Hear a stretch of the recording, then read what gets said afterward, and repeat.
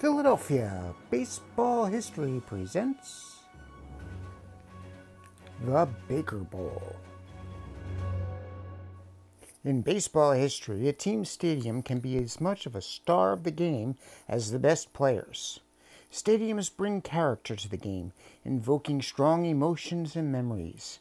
Ebbets Field, Fenway Park, the Polo Grounds, Yankee Stadium, all cathedrals where fans revere the performances of star players from their respective teams' storied past. The Phillies have had its share of memorable ballparks, contributing to the unique personality of the different eras of the team's history. One of the most memorable venues that framed the team's triumphs and tribulations was the Baker Bowl. Known originally as the Philadelphia Baseball Grounds, the Baker Bowl first welcomed fans in 1887. The stadium, considered state of the art upon its completion, replaced Recreation Park as the home Recreation of the Park had itself earned a place in Philadelphia baseball history, having served as the home field of the Philadelphia Centennials, one of three teams that played in the city under the auspices of the National Association of Professional Baseball Players. The field was known as Centennial Park along Ridge Avenue between 24th and 25th Streets. Al Reach, sporting goods mogul and star second baseman of the Athletic Baseball Club of Philadelphia in the 1860s, bought the park in 1882 so it could serve as the home field of Philadelphia's new National League team, the Phillies, who began play in 1883. Reach, who owned the Phillies along with Colonel John Rogers, resodded the grounds, had a new wooden grandstand built, and renamed the venue Recreation Park. As the popularity of National League Baseball grew, Reach and Rogers sought to build a stadium to house more spectators and thus sell more tickets. They chose a location between Broad and 15th Streets, bordered by Lehigh Avenue and Huntington Street. This was the stadium that would later come to be known as the Baker Bowl. With a cost of $80,000, the initial capacity of the ballpark was 12,500. The park had to fit within a single city block and was bordered by railroad tracks. The result was an outfield with dimensions that would be considered odd today. Specifically, the right field fence stood a mere 280 feet from home plate along the foul line. This is 30 feet shorter than the Green Monster at Fenway Park's left field. The wooden grandstand and bleachers fell victim to fire on August 6, 1894. While the Phillies went on a short road trip and then played six games at the University of Pennsylvania grounds, workers were able to build temporary bleachers by August 18th, permitting the Phils to complete their season at their home field. The short disruption did little to silence the bats of the Phillies outfield. The 1894 Phillies stands as the only team to boast a regular outfield where all three players hit for over 400. Stolen base specialist Sliding Billy Hamilton hit 403 and scored 198 runs, while Sam Thompson and Big Ed Delahanty hit 415 and 405 respectively. Thompson hammered home 149 runs and Delahanty 133 runs. All three players made the Hall of Fame. The ballpark was rebuilt in time for the 1895 season, this time becoming the first baseball stadium to utilize steel and concrete. With the name changed to National League Park, the stadium also became the first to feature a cantilevered upper deck. This is a construction method where a slab is supported at one end and carries a load at the other. This creates an overhang that is stabilized with counterbalanced weight in the part of the slab closest to the support. The result is a stable upper deck seating area that does not require poles which obstruct the view of the lower level seating area. The construction expanded the ballpark's capacity to 18,000 fans. Tragedy hit on August 6, 1903. Two drunken men and two teenage girls engaged in a brawl on 15th Street just outside the stadium. Fans in the left field bleachers climbed to the top of the bleachers to spy on the spectacle. But the additional weight was too much for the wooden structure to bear. Under the stress, the bleachers collapsed, killing 12 and injuring 232. The cost to repair the damage forced the owners to sell the team. Meanwhile, the Phillies had to play the rest of their home games that season at the Athletics' home stadium, Columbia Park.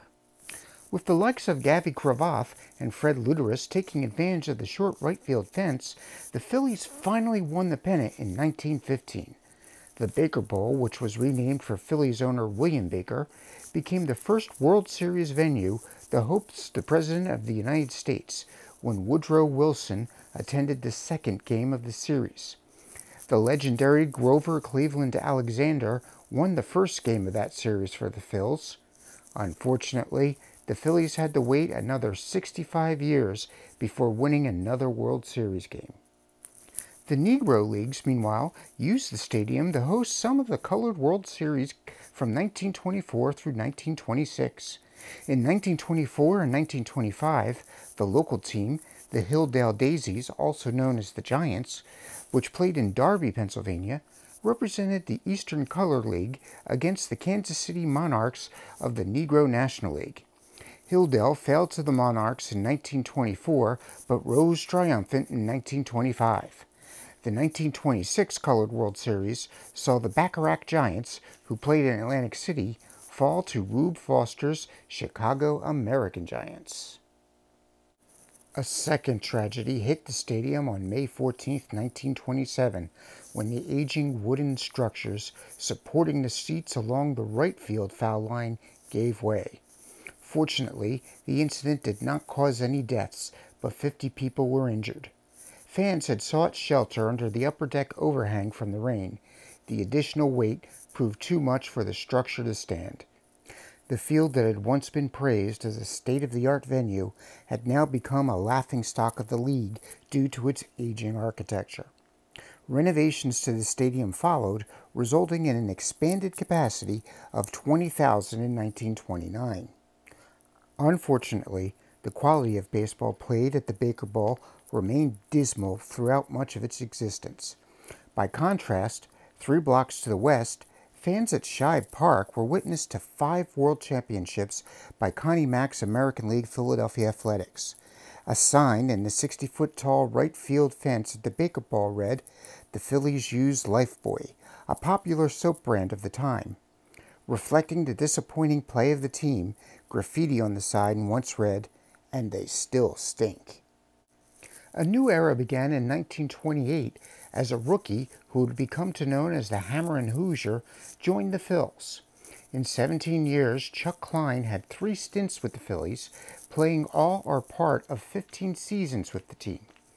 In 1932, Philadelphia became the only city to have an MVP in both leagues, with Klein winning the National League while the A's Jimmie Foxx won it in the American League.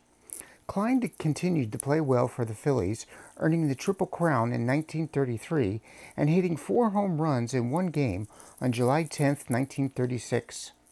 Klein never played a World Series game with Philadelphia, but his batting average was 326 with 243 home runs and 983 RBIs in his time with the Phillies. In 1980, Klein overcame the stigma of playing most of his home games in a stadium with a short right field fence and was inducted into the Baseball Hall of Fame. This was an achievement that other 20th century Philly hitters such as Gavvy Cravath and Fred Luderus never realized. On May 30th, 1935, fans at the Baker Bowl saw Babe Ruth's last game when the Phils hosted a doubleheader with the Braves. Ruth ended his storied career after the first game of that doubleheader. Within three years, the Phillies' time at the Baker Bowl likewise came to an end. The Phillies moved three blocks west to become tenants of the Philadelphia Athletics at Shibe Park. During its life, the Baker Bowl saw its share of great hitters, a legendary pitcher, and way too many years of lousy baseball. In a way, the history of the stadium reflected the team's prospects. It began as a state of the art achievement hosting a promising set of young future Hall of Fame hitters. It ended horribly outdated, home to an underperforming team, playing second fiddle to a fabled American League franchise whose home was a mere stone throws away. Thank you for watching. If you liked this video, please do click the like button below. If you like to see more videos like this in the future, by all means, please click the subscribe button. Do you have a comment on this video or an idea for a future video? Please leave your ideas in the comments below.